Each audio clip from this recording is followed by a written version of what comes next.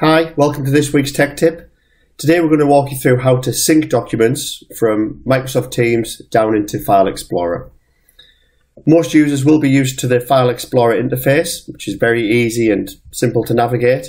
Teams is a little bit more complex based on you've got channels and folders, etc. It's a little bit slow. Um, so if you navigate into a channel, if you go up to the top level in Documents, you'll see a folder for every channel. Below that, you can then start to navigate below those folders. So if you go back to the top level of Documents, click on Sync. This will now open Microsoft OneDrive. Here, it allows you to choose which folders you would like to sync, so we'll select all.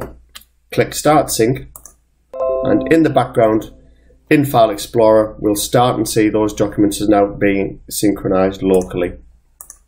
So let's close that. So we navigate through General in Teams and within Tech Tips General, we can see that we've started to get the same files and folders within there. It's great, it's simple, it's much easier to use um, the File Explorer interface.